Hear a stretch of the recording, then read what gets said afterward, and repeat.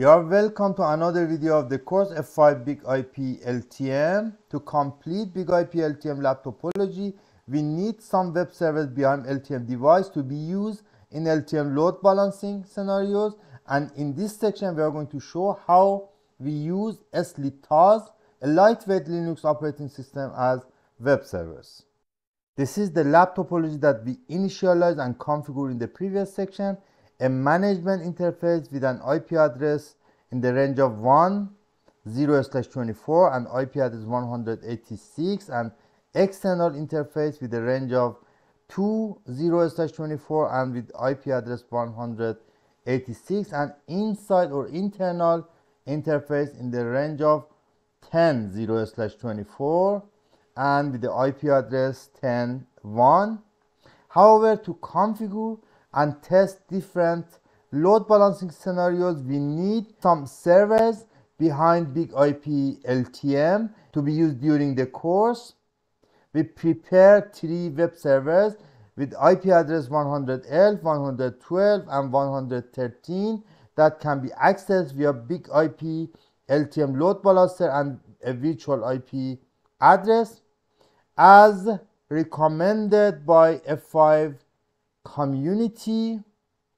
We use lightweight Linux operating system, SliTaz for the web servers and in this section we will learn how to prepare these small web servers.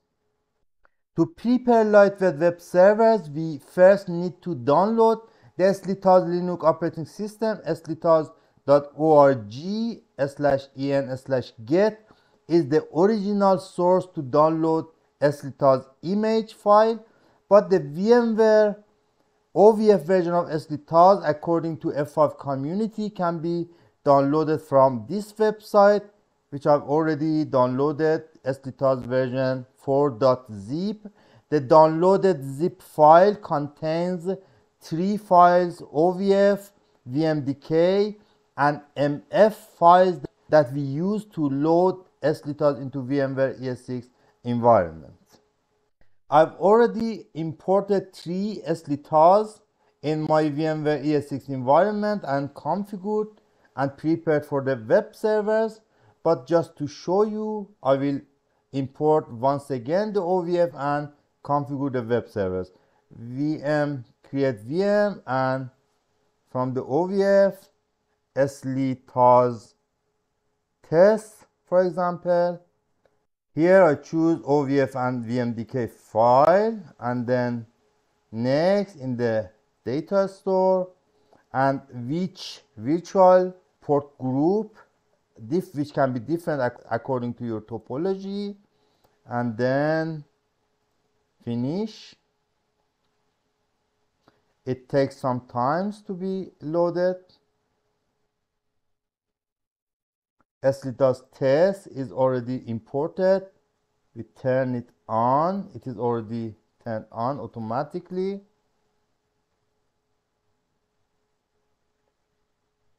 After OVF is imported into the VMware ESXi environment, we need to change the IP address of the virtual machine and also configure a sample web page for the pre-configured web server.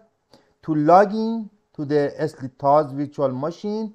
The default password of the root user is root and also the username VMware with the password VMware is pre-configured for SSH access. Let's log in with the VMware user, VMware and also the password VMware. Right click on the desktop and then in the favorite applications and the terminal you can access the terminal to change the IP address and to check the IP address. With su dash we change the access to the root user with the password root and then let's check the IP address.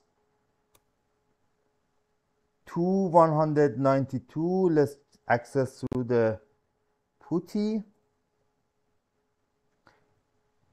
To 192 and the username VMware, password VMware for root access and change the access to the root user and then etc network network.conf here we change the IP address of ETH0 we change from DHCP to static static yes DHCP no. The IP address for example to 114 the subnet mask. to 1 is the gateway and to 1 also for the DNS server. Or we can change also the configuration of wireless network and save. And with the command slash etc init d and network.sh restart. You can restart the network service. Of course you will lose your connectivity because you have changed the IP address. We can check here in the console if config. The IP address is changed to to 114 and we can access it again through the PuTTY new session.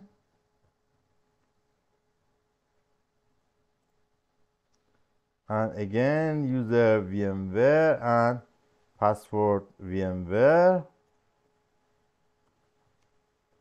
And if config the new IP address you can also see through the PuTTY interface. Web server is already also configured in the lightweight Linux operating system. We can therefore also access through the web to 114 through the web is also accessible. The last step is to change the content of the web page. For three web servers, I use different HTML code in the past slash var www slash index html to load three different web servers with different names and different colors so that I can easily distinguish which of the three servers we are accessing through the LTM virtual IP which is very important to test different load balancing algorithm. Let's delete.